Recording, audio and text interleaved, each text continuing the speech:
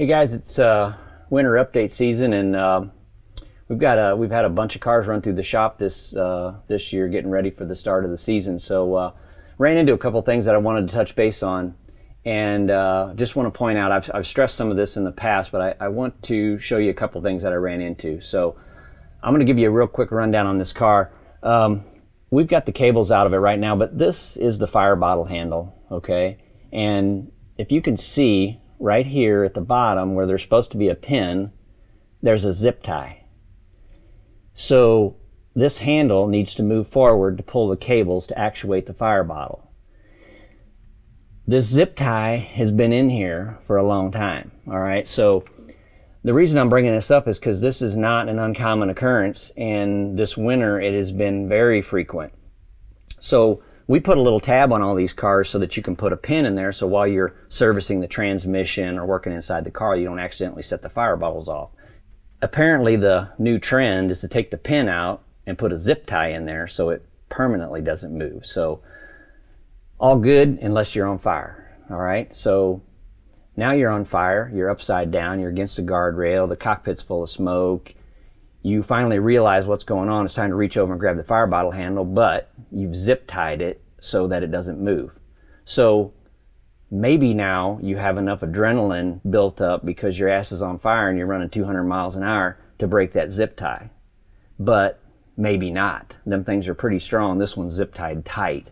So this is asinine you guys have to really realize that this stuff is there for a purpose and is not to be zip tied tight so that it doesn't get actuated. So this is supposed to have a pin and a little red tag on it so that when you're making the run, when this car's running and it's in the, it's getting ready to pull up to the starting line, that pin shouldn't be in there. You don't wait till you're on fire sliding on your roof to try to pull the safety pin out so that you can actuate the handle. The handle is supposed to be accessible. Anytime you're in your driver's suit strapped in and the car's running, you should be able to pull that handle. Fire bottle should go off. So while we're doing this uh, cluster, we're doing some other service work on the car, and we always, part of our standard maintenance is to check the fire bottle cables and check the fire bottles. Well, guess what? Fire bottles were in the car, no pressure. They were they were junk. Both both gauges in the red. Who knows how long they've been like that? You guys have to seriously check this shit, okay? This is not a joke. It's not the time to figure out when you're on fire that your handle is zip tied. And even if you muster up enough strength to break the zip tie, guess what you get out of the empty fire bottles? You don't get shit. You get your ass burnt up.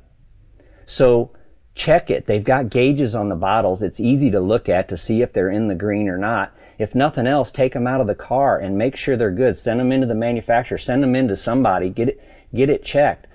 The cables should be lubed yearly and they should be free to move. The handle should never ever be zip tied. And the bottles should always be full and the gauges in the green, not the red, okay? That means there's nothing in there. Now these bottles were still full, but they had lost their pressure. They, this car was built years ago, like 12 years ago. So the bottles have probably been in there since and have never been inspected. Well, over time, the seals probably leaked and they lost their pressure. They still had content, but guess what? No pressure. The content doesn't come out of the bottle when it's time to use it. It's not a joke, man. You have to check this stuff. You have to make sure the handle is accessible and ready to use. You have to make sure the cables are lubed up and you and you have pressure in your bottles. It doesn't take that long. You spend all your time working on the engine and transmission and all the other shit. It takes five minutes to look at the fire bottle system. Seriously, take some advice and look at the fire bottle system. Make sure it is in good working order. That's all I got.